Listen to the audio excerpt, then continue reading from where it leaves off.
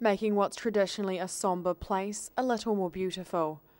The Otago Heritage Roses Working Bee are hard at work ensuring a number of rare roses within the city's northern cemetery are looked after.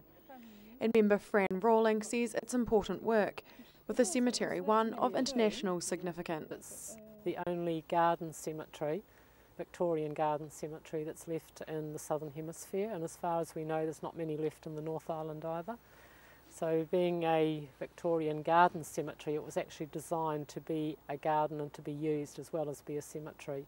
The discovery of several rare roses sparked the beginning of the project. Now the site is home to over a thousand varieties, some of which are the only ones of their kind in New Zealand. And Rawling says it's important there's people who are dedicated to maintaining and growing the collection. We come in and we, our members look after the roses. There's about 80 members in Otago and we come in and we prune, we fertilise, we take out the dead wood and just keep the roses in top-notch condition. Those involved in the working bee learn as they go, expanding their gardening knowledge while learning about the history of the cemetery.